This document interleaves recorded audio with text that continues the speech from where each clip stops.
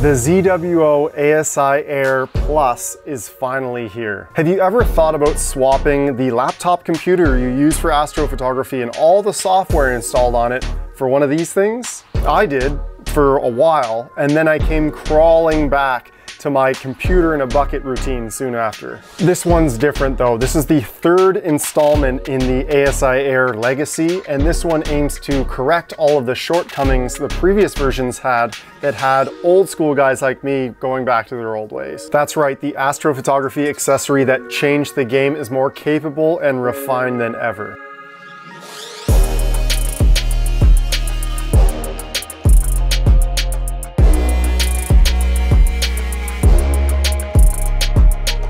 ZWO sent me a demo copy of their latest flagship wireless imaging controller, and here I am reluctantly willing to modify my beloved setup and capture rituals just to show you guys what this thing is about. I wasn't compensated in any way for a review and I have to send it back unless I want to buy this thing off them outright. You've probably already heard of the ZWO ASI Air, at least one of the versions. It's essentially a Raspberry Pi mini PC with all the tools needed for a complete imaging session with your ZWO camera. People that own these really swear by them and I think it's because they solved a few problems that beginner to to intermediate level astrophotographers were having. It streamlines the entire start to finish image capture process. And once everything's set up, you can control everything from your phone or tablet without touching the telescope or even going outside. It's remarkable to see how far this hobby has come in the last 10 years. No matter what the OGs, myself included, think of devices like this, it really is an incredible innovation. I truly think it's partially responsible for ushering in a new wave of astrophotographers by reducing a lot of the friction involved with the setup and image capture process. And that's one hell of an accomplishment. So if the ASI Air is so great, how come I haven't been using one for the last two years? Well, to be honest, it fixes a lot of problems that I just don't have. I love my old school setup routine, manual polar alignment, my big clunky laptop. I'm just so used to my old routine, I never felt the need to change, even though yes, the ASI Air does a lot of these things for you and a lot better. But I also realize that the way I do things is not for everyone. I don't need an I'm using the ZWO ASI Air Plus to capture astro photos tonight using the ASI 2400 MC Pro color camera. This is a full frame one-shot color dedicated astronomy camera. Could this be the RA killer? The camera is attached to a Radian 61 APO triplet refractor and the laptop is gone. Everything rides together on the telescope mount. The ASI Air Plus comes with a handy mounting option, but I went with the tried and true Velcro strips. The setup you see here is really a stripped down version of what the ASI Air Plus was designed to do. It can do everything from controlling your telescope mount using control via Sky Safari and Plate Solve to autofocusing, filter wheel changes. I'm just gonna be using the ASI Air Plus tonight with the image capture control and the built-in auto guiding feature. The plate solving features and the mount control and especially the polar alignment tool are huge fan favorites. So I haven't tested the mount control yet or the cool tonight's best object selection, but I do know someone that has. I'm a previous contributor to the free and open source astrophotography software called NINA. And it really hurts me to say, but I was quite impressed by how simple and well-rounded a package the ASI Air provides.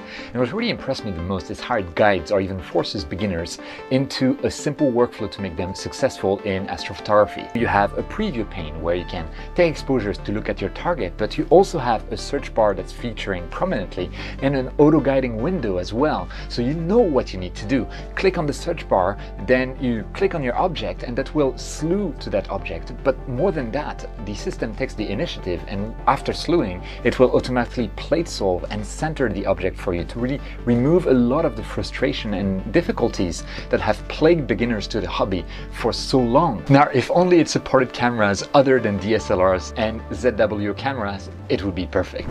I've downloaded the ASI Air Plus app on my smartphone. I use a Samsung Samsung Galaxy S21. Believe it or not, on a phone screen, the way the user interface was designed, it's actually very practical to use. You can pretty well see everything at a glance, including your image exposures as they come through, the histogram, your auto guiding, and you can make changes on the fly. It works really, really well. Because it's such a simplified version of an image capture software that has to fit in your hand, all of the important information is only a few taps away and not buried under a long list of menus and options. The Plus has corrected the biggest issue with the original ASI Air, which was the Wi-Fi range. It's listed at about 65 feet of range now, which is more than enough for me to get everything set up and then go inside the house and keep tabs on everything that's running out here. ZWO also says the system is a lot more stable now with faster write speeds, which is important as these sensors keep getting bigger and bigger and the data coming through is more demanding on the system. I use a portable 3.0 USB thumb drive plugged into the ASI Air Plus to record my data. On the test images I did of dark frames, I pulled them off, no problem, there they were,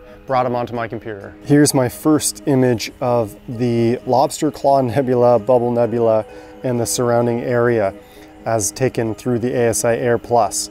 So pretty cool to see the images come through like this. It actually creates a JPEG for you to look at, uh, not just the FITS file, the raw format that you'll be editing later, but it creates these preview files which are really handy.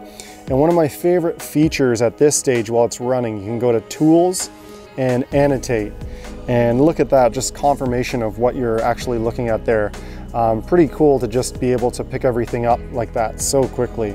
My auto guiding is of course running in the background. I can check in on things here. I can expand it. Uh, there's my graph there. It's doing a great job. So the auto guiding system, this isn't PHD2 guiding. I'm sure it uses a very similar way of doing things, but this is its own guiding system via the ASI Air Plus. So we can just close that down. And so I've got my automated plan here.